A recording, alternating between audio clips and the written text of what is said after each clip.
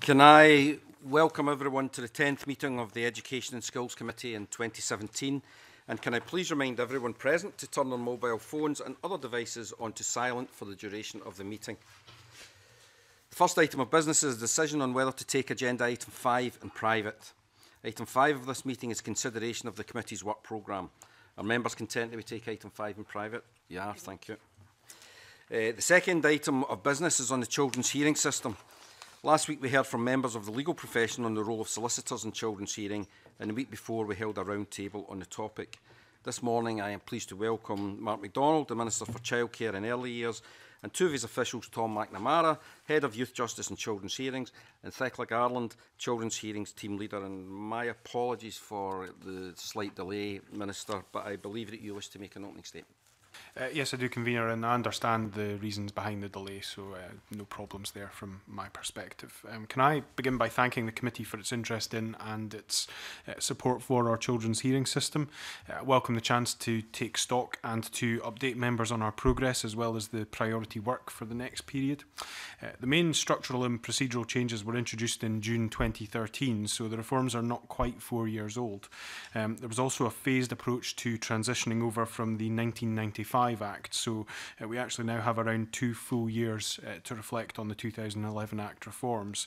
Uh, the main themes of the 2011 Act reform were rights proofing, uh, clarifying roles and responsibilities, and improving children's rights and participation. Uh, children's hearings are independent tribunals making life changing and legally binding decisions. Uh, we need to see hearings that are confident, purposeful, and child centred. Uh, there is work to be done, but I would say that the system is in good shape overall, uh, having been enhanced by our reforms. Uh, it's set to be further strengthened through the leadership of our key partners. Uh, the 2011 Act structural and procedural changes have been secured. We have a distinctly Scottish system that is globally admired. Uh, Parliament has only lately tested it and reaffirmed its fundamental tenets. Uh, we've refined the system to meet the challenges of the 21st century, uh, and we have thousands of fantastic volunteers willing to give so much to children in need or at risk simply because they care and because they can. I'm hugely grateful to our partners, especially to panel members and other volunteers for rising to the challenge of getting it right for children who may need compulsory supervision. We have uh, system leaders across diverse professions who are collaborative, reflective, and principled. Uh, they remain alert to additional chances to do better yet, uh, and we have a programme to add further value for children from a position of real strength. Uh, we need to see that reflected at local level across Scotland, uh, and that is a major theme in the next phase of our work. So we have clear priorities for the next two years to address the remaining challenges. Uh, there are issues around confidence, participation, uh, advocacy, and demonstrating effectiveness, but we have an ambitious uh, shared programme to tackle them. We need to be united around delivering better experiences and better results for children and young people, uh, and the modernisation process and scrutiny of practice has highlighted the priorities around which we must all focus, which is to better meet the needs of our children and young people who we are all here to serve. Thank you, Convener. Thank you very much, uh, Minister. I've got a, a couple of questions. One is uh, on the, the role of solicitors. Do you think that the role of solicitors has grown in children's hearing over the last few years? And is there a risk that solicitors can make children's hearings less focused on the outcomes for children? Well, I think it's important to reflect, and uh, I, I recognise the discussions that have taken place at the, the previous uh, committee meetings in relation to this. I think it's important to reflect that solicitors have always been present within the children's hearing system since 1971, um, but uh, previously it was. Uh, essentially the preserve of those who could either afford uh, to instruct a solicitor or who could secure pro bono representation at a hearing. Um, in 2002, there was uh, there were changes made which allowed for uh, an interim provision for representation for those who were not in uh, those positions. Uh, and the 2011 Act essentially brought in the opportunity for parents to have legal representation at a hearing um, through the Legal Aid Board. So there is a, a, code of practice which is in place for solicitors, um, and we have a clear expectation that that code of practice is adhered to. I think it's worth reflecting, convener, because I recognise that there was quite a, a, degree of discussion around this. That uh, since March 2014, um, we estimate there have been around 4,000 cases per year which have had solicitor involvement, um, and uh, over that same period, we have seen 12 complaints regarding solicitor conduct. So if you take around about 12,000 cases, 12 complaints, that's one in every 1,000 case where a solicitor is involved, we've received a complaint regarding conduct of a solicitor. Now, that's clearly 12 cases too many, eh, but at the same time, I think it does set in perspective that where solicitors are engaging with the system, they're doing so uh, on the basis of ensuring that the rights uh, of parents are reflected as well within the system thanks, thanks very much for that. It's a useful answer. But we, we've just heard from uh, some inspirational evidence from uh, Who Cares Scotland and uh, Bernardo's. And one of the issues that came up in the Who Cares Scotland session was that they found in many case, occasions the behaviour, not that they're doing anything wrong, but the the manner and the behaviour of solicitors as being kind of intimidating, as if they're trying to prove that they're the most important person in the room uh, as opposed to being there to make sure that the system runs smoothly and that the best interests of the child are looked after. I accept that, that, that there's been very minimal complaints, but is there anything we can do to make this the, the, the hearing system much less intimidatory for the children involved. Well, there are there are steps taking place in terms of how hearings are conducted, in terms of the way the rooms are set up. I mean, I saw uh, in um, a visit to Inverness uh, one of the rooms that had been set up in a much more conversational uh, style, rather than it being a table with the panel members and then everybody sat on the other side of that table. So there are attempts to try and reduce some of what you what you describe in terms of the atmosphere that can exist within a uh, hearing. Uh, I, I, I reiterate, you know, there is a code of practice there. It's obviously for the Law Society of Scotland to ensure that training uh, is provided and is taken up by solicitors who are going to be uh, representing clients uh, at a children's hearing. Um, but you know, at the moment, um, in terms of the actual complaints against the conduct of solicitors within hearings, there are very, very small numbers of actual complaints. I take on board the point around how those behaviours can be interpreted, and that's certainly something I can take away and look at further. Thank you very much, John. Um, Thanks very much. Just a couple of points on this question of it's for the Law Society to decide on the training, but there would be circumstances where solicitors would be involved who hadn't had that training, and I wonder if you're in a are looking at how that could be monitored. I mean, I note that you said there's only 12 complaints, but clearly things have to get to pretty far along the line before somebody actually complains formally. I wonder is there a process where you're actually keeping an eye on this? Well, I think it's also worth reflecting that we're talking around about 10% of all hearings where there is solicitor involvement.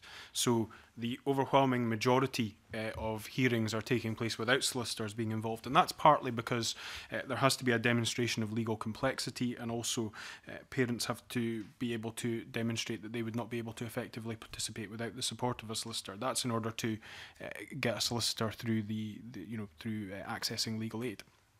In terms of those who privately instruct solicitors, um, I mean, I'm happy to look at how we could better uh, better regulate that system and have discussion with Law Society of Scotland around that. Um, but my clear expectation would be that those solicitors who are taking on representation at children's hearings would see it as incumbent upon themselves as professionals to ensure that they uh, firstly were aware of how they should conduct themselves within a hearing and then conducted themselves appropriately within a hearing itself. So um, that would be my expectation in these in these regards. But as I say, I'm happy to look at you know what further steps could be taken. I can understand what was the thinking behind the 2011 Act? And one of the things that I raised with the, the Law Society panel was this concern about whether there is a damage to the ethos of the hearing system, where a solicitor might advise a parent not to say anything, when in fact, one of the things in my view that's very powerful about a hearing system, people have the confidence to say, well, actually, I've got a problem here. I've a, it's a bit of a challenge for me here. Indeed, in the past, I've advised parents to refer their young person to the hearing system because it was seen as a supportive place where you could maybe access resources. Is there an issue about the culture of the courtroom coming into the hearing system, even in that very moderated way, which is round be careful what you say here, when in fact the hearing system thrives and people being honest and frank about the challenges they're facing? I think I think the, the, the, code of practice was drawn up in such a way as to ensure that that didn't uh, happen, and that we didn't get into um, you know a courtroom style setting rather than what the hearing system is intended to deliver. Um, I mean, I sat in on a couple of children's hearings in uh, in Aberdeen uh, not long after becoming uh, minister, and one of those hearings had solicitor involvement, and I have to say that I felt the you know looking at it from a from a layman's perspective, it didn't feel that that created a courtroom uh, environment. Um, but at the same time, um, you know, that solicitor conducted themselves in a way which was entirely about ensuring that their, uh, not just that their client's interests were represented, but also ensuring that their client uh, respected the process of the hearing, um, which, you know, I think is, is also part of the role a solicitor plays uh, in a lot of these cases as well as about looking after the best interests of their client, but also the best interests of the process. Just, I mean, I agree with you in the hearing system that I sat in, there were solicitors there and it didn't feel like a courtroom, so maybe I'm overstating it. But is there this question about whether people are advised not to be as frank as they might have been?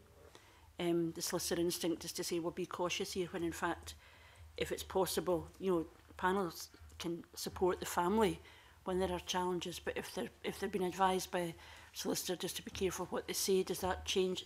I'm, It's just a question: of the sure. in the culture? Sure, and I think I think it's difficult for me to comment on that because obviously I'm not present in all of the hearings, witnessing how those interactions uh, take place. Um, certainly, the feedback I've had, uh, certainly from from the hearings uh, system, is that they see that solicitors do have an essential role to play, um, and as I've said, particularly in those cases where they're uh, representing uh, in, in some of our most complex cases. Um, but you know, I'll, I'll reflect on that certainly and, and, and give consideration to it. But at the end of the day, uh, I'm not sure that um, I could take a, a position which would define that solicitors have to let parents speak because ultimately um, that's a matter for the relationship between the solicitor and their client rather than something that I as a minister could necessarily direct on.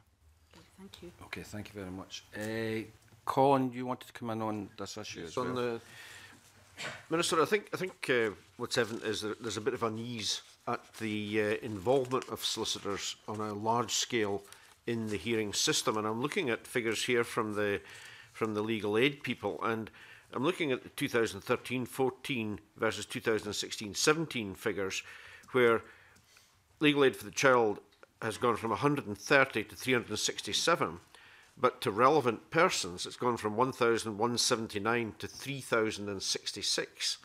So the vast majority would appear, the vast majority of legal aid seems to be going to the, to the parents to, so that they can uh, present their case, as opposed to the child, where you would hope that they would be getting the representation and the protection in the hearing.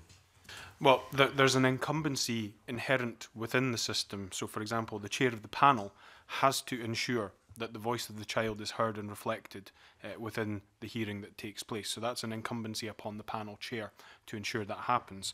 Uh, in a lot, in a number of cases, safeguarders are appointed, and again, their role is to listen to uh, the child and to reflect the child's views as part of their representations within the hearing.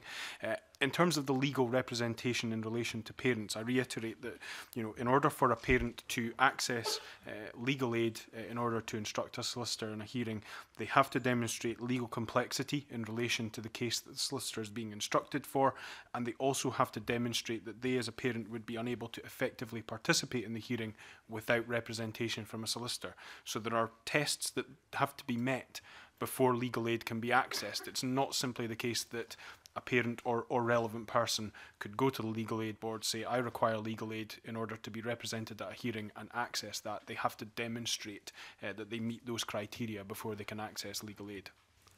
I understand what you're saying, Minister, but to me, just as a layman sitting here, looking at a tripling of the number of uh, parents or number, uh, number of legal aid granted to parents, it seems exponential, doesn't it? I mean, where does this end?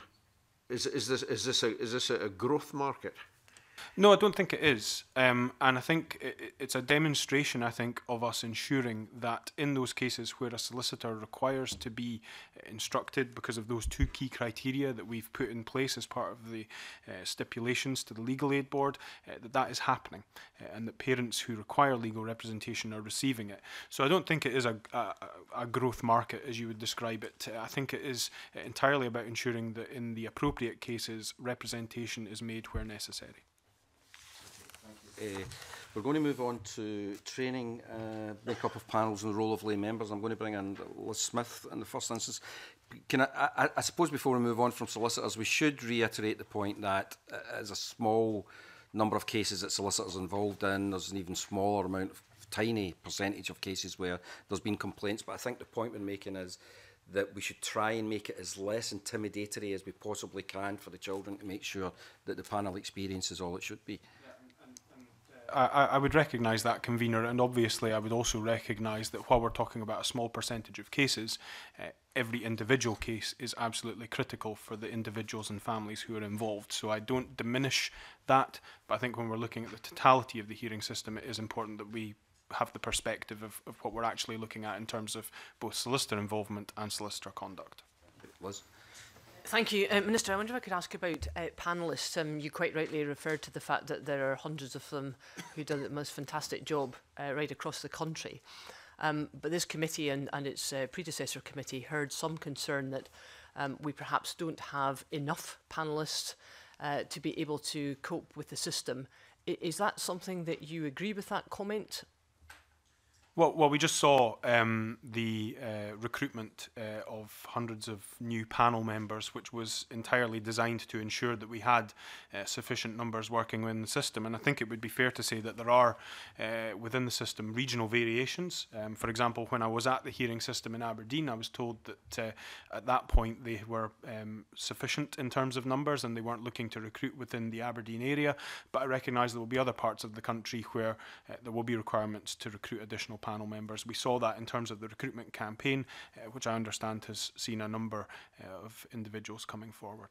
Could, could I just pick up two points there? Um, I think you're right. I think there there are regional uh, variations, and I just wonder if you feel that the government uh, can take any steps to try to uh, reduce the, the, the gap between the different regions.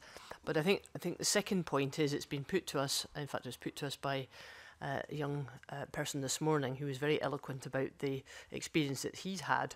Um, that sometimes uh, you know the panelists change so frequently that you know th that can be a wee bit of a difficult problem, and I just wondered if that's an area that could be looked at by the government just to ensure that um, there is some continuity in the panelists who are, who are dealing with a case. I, I, suppose there's always a balance to be struck there in the sense that the panelists who we're dealing with uh, are volunteers who are giving of their time to uh, support uh, the children's hearing system. And so, obviously, um, depending on when cases are, are coming back, particularly if they're coming back in terms of you know having been appealed or in terms of uh, grounds being agreed. Um, you know, having the same panel members for each for, throughout a case might then lead to delays depending on availability. Um, so what we want to ensure is that we have uh, a consistency in terms of training and competence uh, in terms of panel members. So while they might not be familiar with the case from its inception, uh, they will have all of the relevant documents and paperwork in relation to the case uh, and they will have the competence and confidence to be able to discharge their functions in relation to that. Uh, so I think that's more what we would be looking to focus on. In terms of the point that Liz Smith makes about um, the uh, ability to deal with difficulties that may arise in certain regions. One of the issues which I have uh, discussed with uh, members of the children's hearing system is about whether in specific locations uh, there are enough uh, opportunities for panel members to uh, see cases and to develop their skills. And that's something I'm giving active consideration to because obviously uh, some locations see a much higher volume of cases uh, by dint of population uh, than others do. Uh, so we have to bear that in mind as well, ensuring that panel members are having the opportunity to enhance uh, and use their skills in terms of the number of hearings that they're sitting on. So just on that point, Minister, is there a geographical trend uh, within some of these regional variations that it's more difficult in some of the more rural communities to find uh, sufficient numbers and for people to access the service? I think it's I, I think it's undoubtedly the case that there are some locations by dint of population where you will you will have I would say challenges rather than difficulties uh, in, in ensuring consistent recruitment uh, of uh, panel members. But that's something, as I say, I'm giving consideration to, uh, and uh, obviously it's uh, an active consideration for Children's Hearing Scotland as well. Okay. Thank you very much, Phil. You wanted to come in? Um, Minister, picking up on Liz Smith's point there, um, do you think it would be worthwhile? uh, giving guidance to reporters that even if one panel member, I know, I know the issue about them being volunteers, but given some of the evidence that we heard in the Who Cares group this morning and other evidence, even if one, even if attempts were made by the reporters for one panel member to remain consistent, um, do you think that's something that's worth considering? I mean, I'll, I'll certainly give it some consideration um, and and look into wh- what the logistical uh, practicalities of that might be. Um, but you know, I, I'm, I'm certainly happy to take that away and look at it. Thank you, uh, Daniel. So I, I just really like to follow up on, on, on some of the points. I mean, I think one of the points that was made loudly and clearly in the Who Cares uh, uh, Scotland session that we just had was that children in, in these uh, hearings quite often feel that there is a, a room full of strangers and that, that while the intent behind children's hearings is about their voice, that that room full of people makes it very difficult for them to feel comfortable and express that. So therefore, I think I, I'm interested in the role of the chair and the training that chairs have. I mean, you mentioned that that's their, their primary responsibility. I was just wondering what your thoughts are in terms of what we need to do to improve chair training. Indeed, I think uh, you know Boyd McAdam in his evidence to us said that they, they sometimes struggle to give chairs the confidence to sort of cut in and control uh, hearings and, and, and maybe cut through some of the, the legal and professional kind of jargon that, that might be taking place. Just wondering what your thoughts are on that. Well, if, if we look at the mandatory training that, that takes place in relation to chairs, so management of hearings, effectively communicating with children and families, managing conflict within hearings, um, attachment and resilience, revisiting decisions and reasons uh, and the 2014 Act and GERFIC are essentially the themes for the mandatory training. So contained within that are some of the points that, that Daniel Johnson raises. And this uh, essentially comes down to uh, assessing and analyzing the effectiveness of the chairs, which is uh, the responsibility of, uh, you know, e-, e-, essentially there is a, a you know, a feedback system whereby panel members, reporters can look at how chairs have performed. Um, and often, as will be the case, you won't know for sure how effective a panel member will be chairing a hearing until they chair a hearing. So um, there, there is, you know, an element uh, in relation to that. But certainly, um, you know, we are putting in place much more uh, training uh, and capacity building in relation to chairs of hearings to ensure that they have the confidence and the competence to be able to address the issues that, that, that you raise. So, so I mean, I think one of the things in the session we just had, which became very clear, is that the culture of, of, of the, the hearing room is important, the language used. So, for example, there's a requirement for children to confirm their age. Now, one of the things that was, was said was that the difference is that children get asked, can you state your date of birth rather than being asked, what age are you?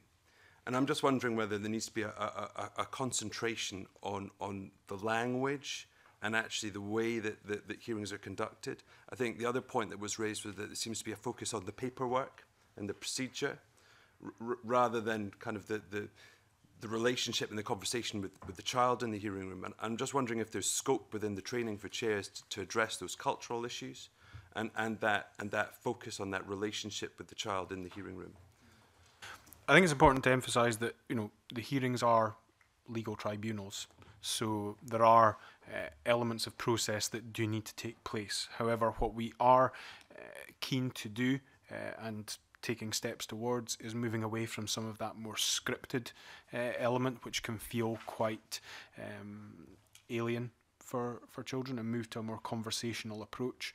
Uh, and certainly that's something which I saw reflected in terms of the, the hearings that I was uh, witness to. And it's certainly some of the feedback that I've heard in terms of how hearings are starting to move uh, more into that conversational direction. And that relates to the point that I made uh, in my answer to John Lamont about the way in which the rooms are being set up uh, differently in order to perhaps move away from the panel sitting on one side of the table and everybody else on the other side in some hearings. And obviously, it's not suitable for every hearing.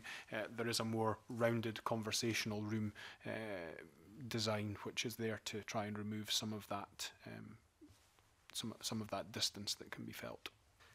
If I could just ask one final question. Uh, I think one of the things that we just heard makes it a big difference is having a, a relationship-based advocate um, in the room, that somebody who knows the, the child before the hearing and who can help them articulate what they want to say. Uh, but we also heard that only 2% of children attending hearings have such a relationship-based advocate. Um, is that something that could be reviewed and maybe made a mandatory part of the system? So we've we've not yet enacted Section 122 uh, of the Act, which uh, sets out a requirement for of the chair to uh, inform a child or young person of the availability of advocacy.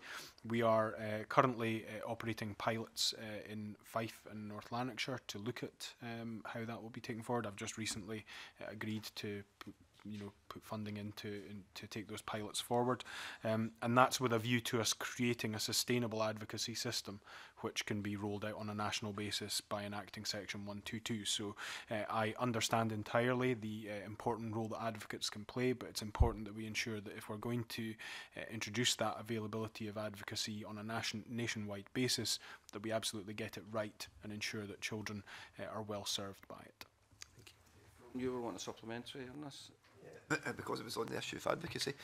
Um, but following the, the pilot's uh, minister, would, would there be any consideration given to the role of a relationship-based advocate, uh, advocacy worker actually being part of the grounds of a hearing? So, for example, I might be thinking out the box here, but just based on my own experience and some of the um, the, the comments that we heard today, um, if a, a uh, children's hearing obviously works best where a child believes that they've got um, somebody who's in their corner and who's listening to them and advocating for them. Would it be possible for a ground if a hearing, if the hearing needs to establish early on, is there somebody in this room, whether that's one of the local authority workers, a social worker, a teacher, or in the case where it's not possible to be one of those, eh, somebody else that the hearing actually can't go forward without that being in place, because therefore the ethos of the children's hearing um, is in question. Is that something that's potentially on the radar and consider, uh, under consideration? Well, obviously there is a um, at the moment, for example, the chair can determine whether a safeguarder needs to be appointed, and um, part of what we're looking at in terms of the pilot is uh, how what the best model would be uh, in terms of advocacy within the system.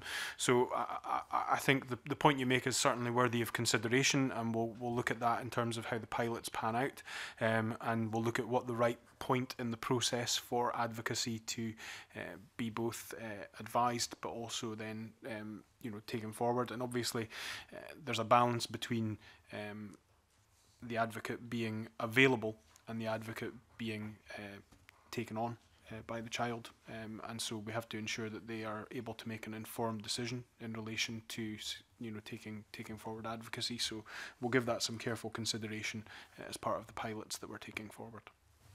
Thank you, Julian. Yeah, I'd like to move on to multi-agency training. Um, some of the sessions that we've had recently with a lot of different people who are involved in children's hearings, like social workers, Bernardos, uh, lawyers, etc., have talked to, about their individual training that they have they, they go through in almost like a silo, but there's not been much in the way of multi-agency training, bringing them together and understanding each other's roles. Uh, I'd like to ask you what movement there's been on that, but as a secondary question, I'd like to ask you what involvement in that training there has been for um, children's hearing experienced young people in informing that training. Okay, so we, we have taken forward some multi-agency training. Uh, we did that in Glasgow, um, looking at GARFEC and the principles behind the hearing system. Um, we're looking at rolling that out further. Um, so we're looking at doing a session in Edinburgh and then looking to roll out from there. Obviously, these are, you know, being being our large population centres are the areas where we see uh, a huge number uh, of the hearings. In terms of the role that uh, children have, uh, care experienced uh, children have uh, in that process. Um, there are uh, children involved in panel member training, so uh, that is forming a part of the, the training that panel members will receive. I'll look carefully at how we can expand that um, that role um, because obviously part of the multi-agency approach is getting a better understanding of the different roles that individuals play within the hearing system. Um, it's also worth noting that um, the Board of Children's Hearing Scotland Scotland has recently appointed three new members, and um, one of those new members is a care experienced young person. Obviously, i have spent some time this morning with, with some some uh, people who've been through the hearing system themselves, and one of the, the clear things that came out in, in terms of their asks was that their um, their experience was taken more into consideration when any any development of the children's hearing system was, was taking place. Um, and they were able to give us examples of where they, when they had been involved with that training, that the individuals involved, whether were panel members or whatever, actually um, had a different view going into the children's hearing system, which was really child-centred. And I'm wondering whether we've talked about lawyers and, and solicitors as well, whether we should actually be making that more of a sort of uh, part of their training, is that they're actually hearing the views of young people and, and, and, and how their experience of having solicitors in the room makes them feel and perhaps how they can maybe modify their demeanour, maybe not their behaviour, but their demeanour to, to be more child friendly. So I think if we if we look at the sort of landscape that exists at the moment, we've got you know the the care review. Uh, which is uh, being led by Fiona Duncan, and um, that uh, is absolutely going to look at the system throughout. So the hearing system will form part uh, of that. Um, we have the Children's Hearings Improvement Partnership, which has a range of stakeholders involved, some of whom uh, are there. Uh, advocating on behalf of children and young people and representing their views within the children's hearing uh, system.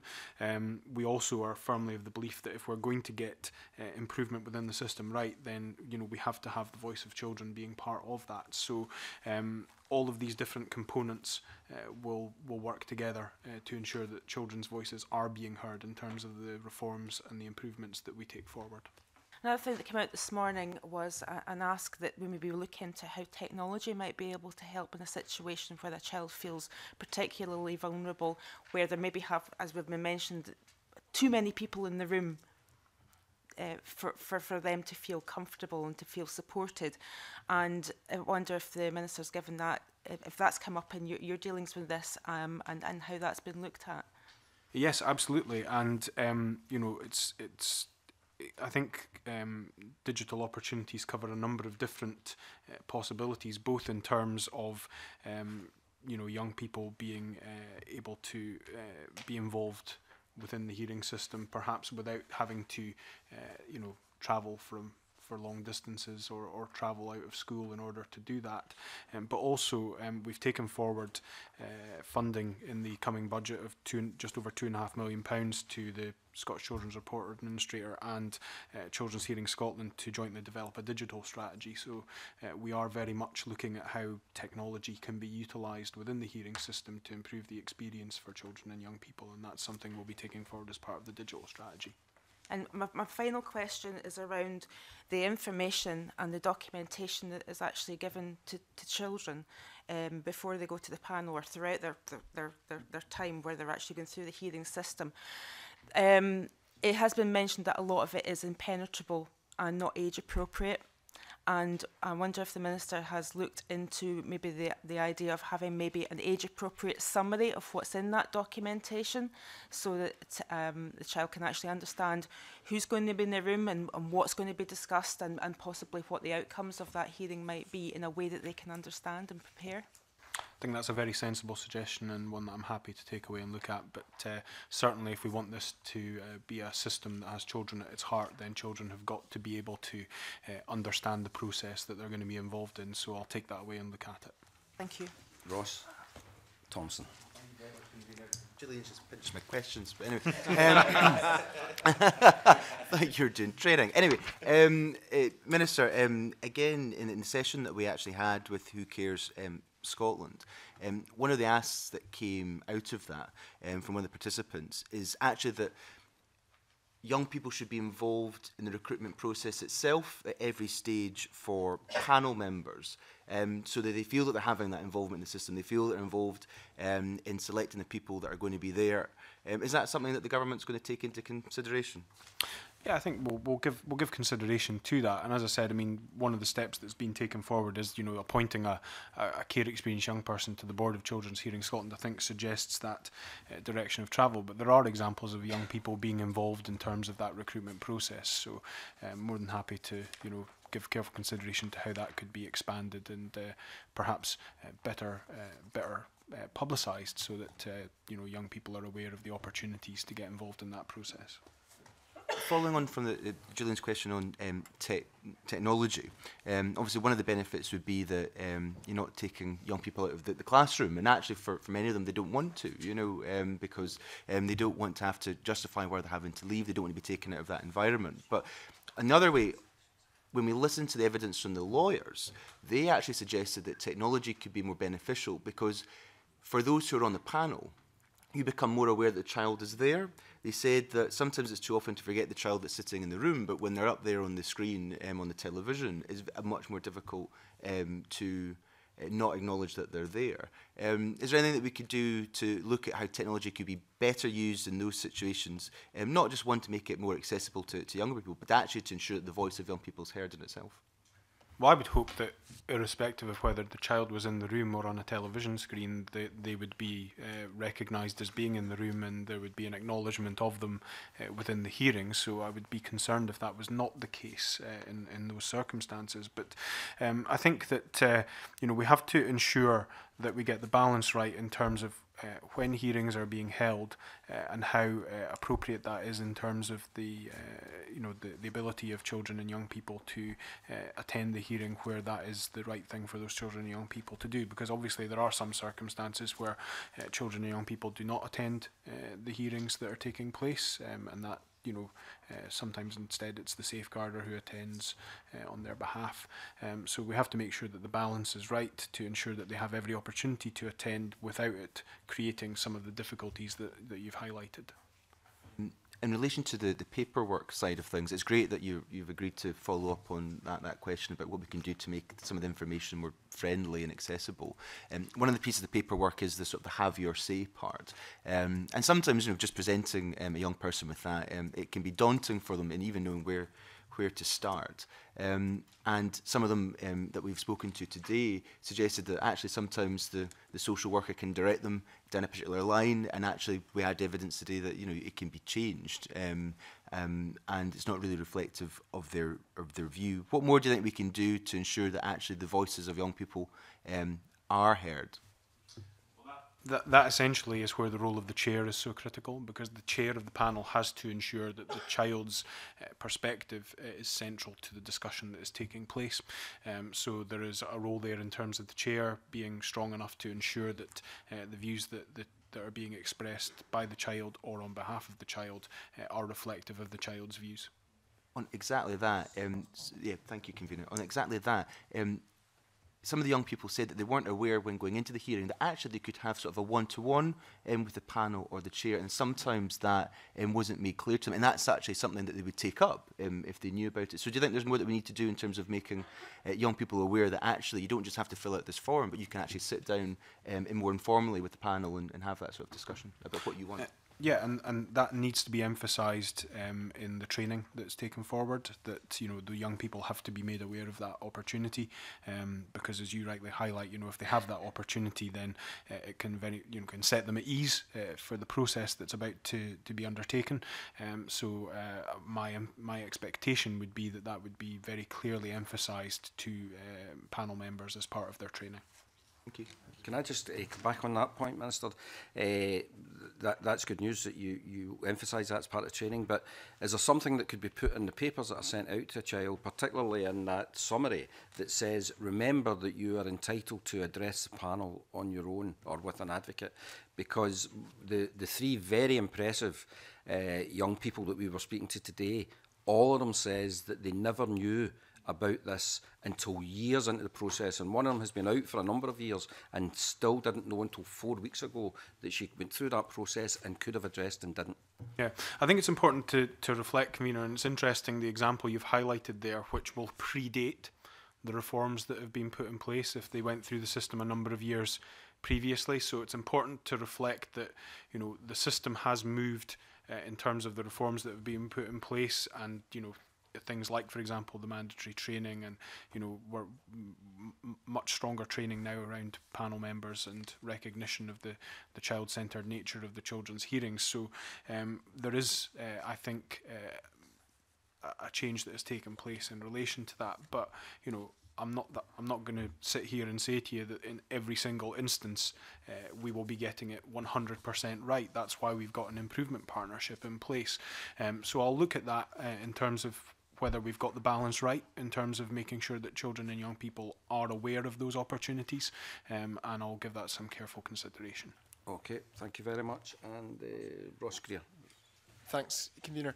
Uh, Minister, in previous uh, sessions, we came across a bit of evidence that an issue that was coming up, and this came in particular from teachers whose interest was to support young people they were aware of that were going through the system, was communication between local authorities that uh, young people in these situations uh, are naturally uh, more likely to move, uh, to move accommodation, to move school, and often to move between local authorities when they're doing that. And if they were moving school within a local authority, there were some issues, but it didn't seem to come up too often, but when it was movement between local authorities, there was a breakdown in communication, and teachers in particular found it more challenging to support those young people. How do we improve the structures that are in place to ensure that there isn't that communication breakdown or that lag in communication that would find a young person moving school, moving local authority, and not receiving the support they need during this process?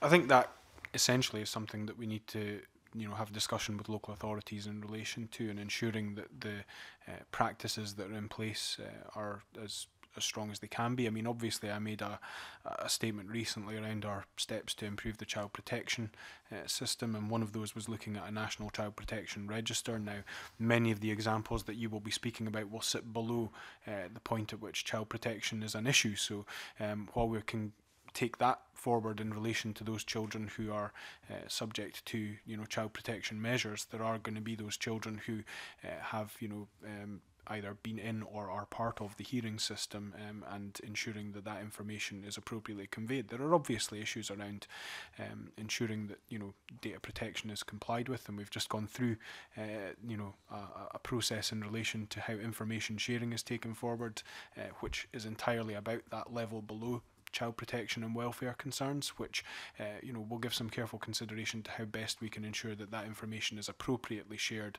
uh, within the requirements of the Data Protection Act. Thank you. Okay, thank you very much. Uh, Joanne? Yeah, um, thanks very much. The, the questions, I suppose, loosely around the question of the feedback loop, which is trying to figure out what works and what is effective.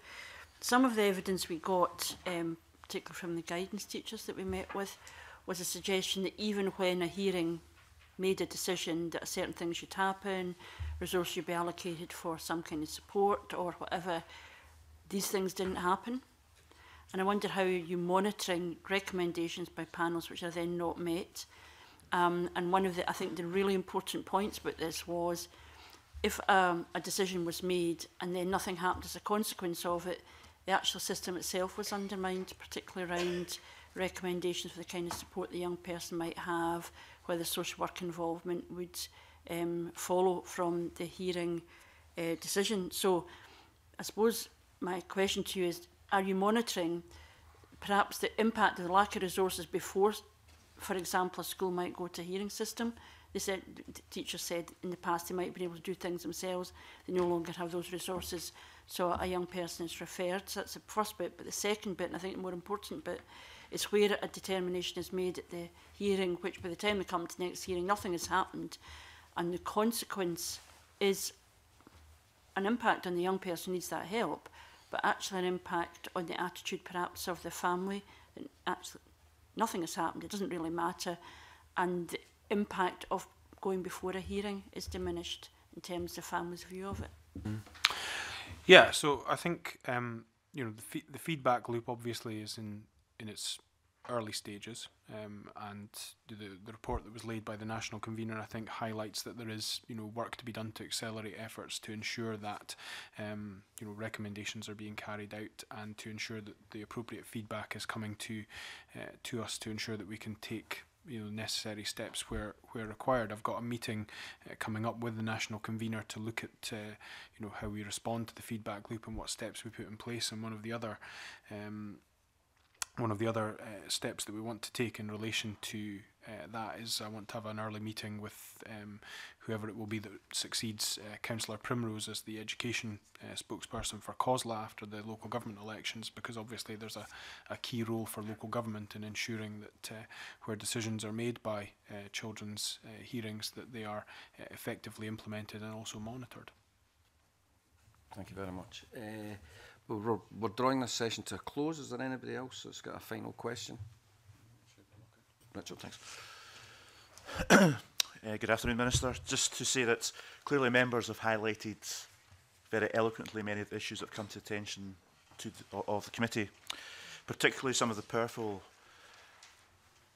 informal evidence we've taken from young people who've been through the, the hearing system and it's quite clear they have some specific ideas of how to improve the experiences of young people.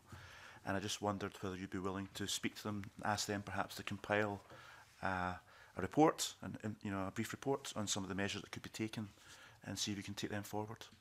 Well, I have constant discussions with uh, Who Cares Scotland and the young people who uh, are uh, form the you know part of Who Cares Scotland and who you will have heard evidence from today. I maybe not haven't spoken to the, the specific individuals, but I've certainly had lots of discussions with young people with care experience, and uh, I look forward to continuing those discussions. Um, I think that's going to form absolutely an integral part of the care review that we're taking forward, is ensuring that uh, the voices of children and young people with care experience who've been through the system uh, are reflected in terms of the improvements and the changes that we make uh, on the other end of the care review. So, uh, as I said, we've got a, a landscape of different reviews and improvement programmes taking place, but I see them very much as complementary to one another uh, and as part of that, ensuring that children and young people have an opportunity to have their views reflected within that is uh, certainly a central uh, priority for myself.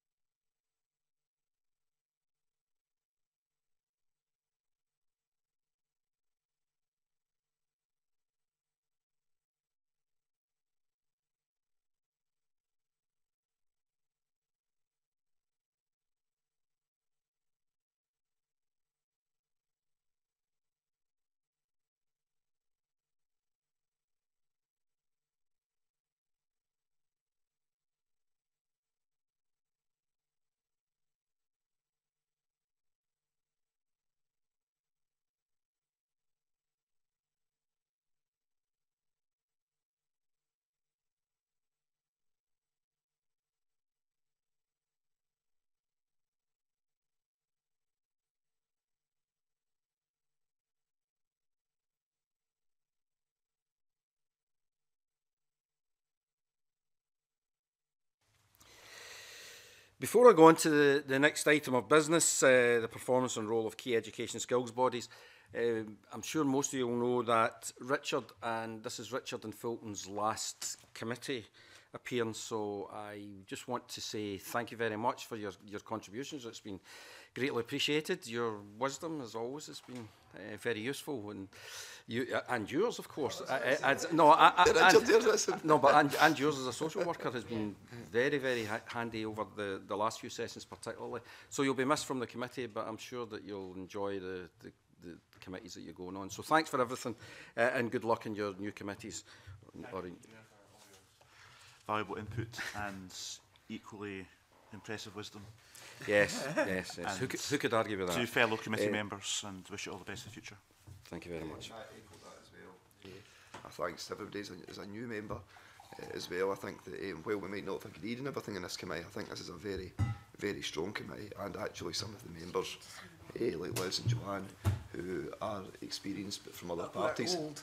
I, I feel I've learned a lot from in my year, so I'll take that forward. So thanks very much. And, and very good wise convening. Yes, very, very wise man. Uh, remember, this is in public, so let's have a wee bit less of the, the complimentary stuff. Right, the, the next item of business is the consideration of a number of responses to the committee's report on the performance and role of key education and skills bodies, which was published on the 17th of January. The committee made recommendations on the performances of the SDS, the SFC, the SQA, Education Scotland and COSLA and local authorities – We've received responses from those bodies and also the Scottish Government, whose response covers the work of all those bodies. I thank all of those organisations for their responses. I suggest that we consider the responses to our recommendations on each body separately in the order they are set out in our paper. If members have any comments on the public body or government's response or any suggestions of future work, please catch my eye. Skills Development Scotland. The key issue with SDS was localised delivery of services, Would anyone like to comment? Okay. Essentially, SDS argues that it provides a very localised service and the evidence we receive casts some doubt about that. Can I suggest we explore this question further as part of any future work we do on skill and SDS's work? Yes? I gave you a chance. I just was. Did we ever get feedback from their meeting with the Chamber of Commerce? That's something that they were going to undertake. Remember, following some of the criticism in, it's in the main um, report. Yeah, I can send that across to you. Thank you. Uh, Scottish Funding Council, does, uh, does anyone have any comments on the SFC recommendations? No? Thank you. Well, the committee did make a number of recommendations and observations, much of it to do with the Enterprise and Skills Review, so we're likely to consider that review further. So anything that we do have, we can uh, bring up at that point. Scottish Qualifications Authority. Any comments? Daniel? Uh, uh, I mean, I, I think their response, especially in terms of means of communication, is, is unsatisfactory in two fundamental ways. One is the key point around communication is that they're not responsive to teachers and people on the ground, and yet their response is more uh, kind of one-way traffic, uh, downstream communication, and that wasn't the point. The point was actually they needed to listen more. And secondly, um, they uh, also uh, I think they have a problem with technology. I mean, they describe the problem with the amount of guidance was because technology makes it more complicated, and yet the response seems to have, be more technology. Now, they're not an organisation which, at the moment, inspires me in terms of their ability to use technology well. So I think on, on just on that very narrow point around communication, but it is a fundamental one, I don't really find their, their response certainly comforting. Okay, else have any comments on SQA? Right, Liz. Um, I, I think it would be helpful. I mean, obviously there has been a bit of publicity in uh, newspapers about um, payment rates for markers and um, people who are invigilators, etc. And I don't know the full facts about uh, any of this because I think it's quite uh, difficult to find the full facts. Uh, but I think it's in the interest of the SQA to be very upfront about uh, all of this because you know it does impact on uh, people who are uh, motivated to take up um, positions as markers and invigilators. So I think it'd be helpful if we could uh, perhaps get some clarity. I, I, I see that we, we've had a few uh, comments here, but it doesn't really give us the full explanation, and it's it's hard to uh, say that there's a real problem here or that you know maybe it's been solved. But I just find it difficult to know whether it has been solved because we don't give the right information. Yeah. Okay. Okay. The two points brought up there. Uh, one on communications, but we also asked them about the new national qualifications when when we uh, raised the issues the and the markers one. So my suggestion is that we have them in early in September. Uh, to, to see how they've been going on with the, the after the exam year's exam diet, but also what we should maybe do, we should certainly write to them about the, the markers issue uh, and also just reinforce the point about what exactly we're talking about, about the communication issue, ask them for a response and then even if we don't get a response, but we all get a response before September, they will know what it is that we're going to be asking them about when we get them in September. Tavish. On that point, Davina, uh, the, the, that's where the connection to the Curriculum for Excellence Management Board also matters because what we found when we took all that evidence was that Education Scotland and the SQA we're doing all these things in isolation. The Curriculum for Manage Excellence Management Board is meant to be there to oversee the, exactly the point you've made about a new um, interpretation of the exam setting and the exam criteria. Um, we'd all want to be sure as a committee that that has been properly discussed in that forum so that all the agencies are pulling in one direction and not adding to the teacher workload that comes up time and time again and as far as I can see hasn't gone back at all. Yeah. So I just want to know that that will be covered in some way in September as well. And yeah, that's what I'm saying. Lose sight of the Curriculum for Excellence Management Board, yeah. which, as far as I can see, has not done its job over the last. Yeah, I was just about years. to say that September would seem to be the appropriate time to give them a, a bit of time. It's their busy time, very busy time just yes, now the exactly. exams coming yeah. Yeah, there's a couple of things on in schools, isn't there? Uh, and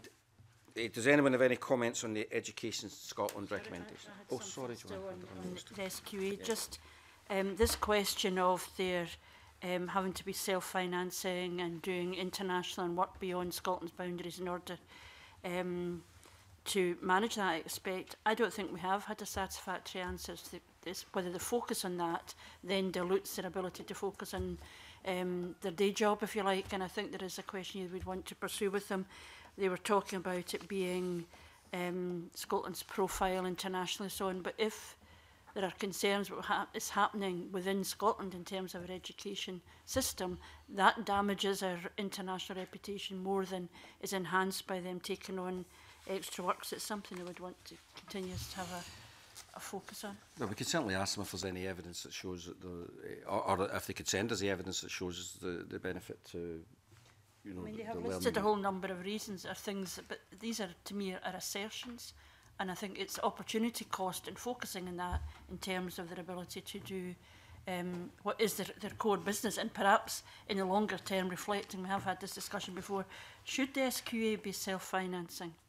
Why should it be if it's something that's absolutely integral to the, the work of our education system? I'm not convinced that it should be and if it's having to go looking for work in order to make sure it's doing this core business, I think there's a problem with that but I think it's something that's at least some questions we should be continuing to pursue. I would agree with you that that's one for another day right now. Just uh, brief on, I found in general the SQ's response to be defensive and, and platitudinal. If you look at, I mean, the fourth point around their, their workload and resources, I have learned nothing from the SQA's response to that point. suggests that there still is a, an issue with communication. Exactly. Yeah.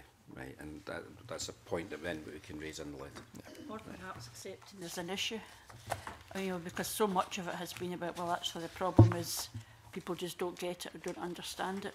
So that's not about communication, it's about recognising there might be a problem which just goes beyond people not being clever enough to understand what they're trying to say to them. There has been a, a pattern of we highlight an issue and the SQA simply reiterates what it is doing rather than responding to the issue that we've highlighted. Okay, Roger's noting these down. Uh, Education Scotland. Let me um, start on this because I, I, I feel very strongly about this issue and just to take up uh, the point that Joanne Lamont's made uh, regarding uh, SQA, I think the, the problem with Education Scotland is the inability to recognise exactly what the problem is. And I, I know we'll have a debate um, th this afternoon about some of this, but The uh, report that Education Scotland has undertaken itself has identified uh, five key areas of improvement. And in almost all of them, in fact, you could almost argue in all five, the problems have been created by Education Scotland itself. And therefore, you know, I, I think there are big question marks over the ability to recognise why the problems are there and what we have to do uh, to address them. And I think what we got in the response that was given to the committee was an outline of the, in theory, of what should happen and what structures should work in Education Scotland, but it didn't deal with the practice of what is actually happening on the ground.